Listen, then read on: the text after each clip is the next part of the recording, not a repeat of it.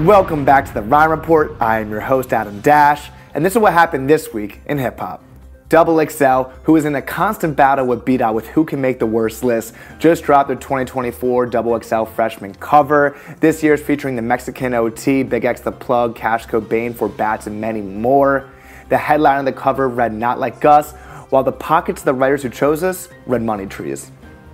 Kendrick Lamar brought us one of the biggest moments in hip hop history, definitely one of the biggest moments in my 23 years of life. With his Not Like Us show live in Los Angeles, he had every California rapper on stage. He made artists and gangs put aside years of beef to come together to unite the state against one common enemy that awful Canadian accent. Because if the business is true that you left your moms in the hood, somebody go smoke that you. You don't leave your moms nowhere. You have money and you left your moms there? Yo, you're sick to my stomach, fam. At the show, Kendrick Lamar performed his number one hit, Not Like Us, six times, which is only half as provocative as Kanye and Jay Z doing a certain song in Paris 11 times. But Kendrick better be careful, or OVO Mark has something to say about it. And at the show, Kendrick achieved something that hasn't been done on a stage in LA in years. He brought a smile to Russell Westbrook's face. I mean, we know why DeMar DeRozan was there. This Who's guy. talking? Smart mouth over Smart mouth. What's your name? Demar. Demar. Demar. Okay. Demar. Demar, I say it, the less I like it. Westside Gunn announced that he'll be releasing his next album, Fly God is an Awesome God 3 soon, which is a lot better than his original working title, Saddam and Celine.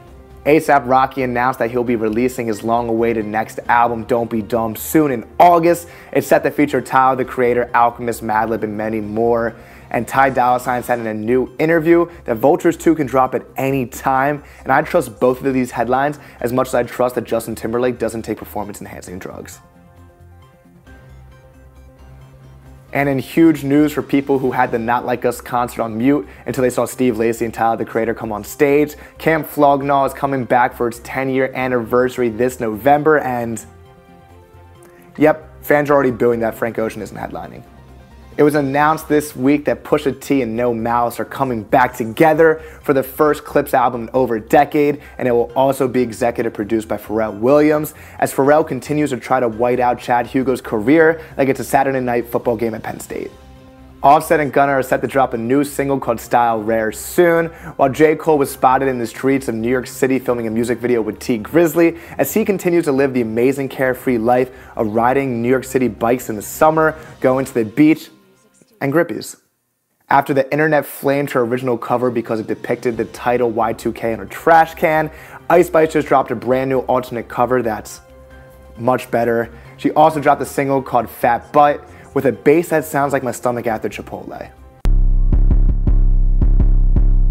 YG is set to drop his new album August 6th, and he began the new rollout by taking Bobbi Althoff throughout the streets of Compton. And I can't wait for this to become a trend. I mean, I can't wait to be scrolling on TikTok and I see Lil Durk on O Block with Alix Earle.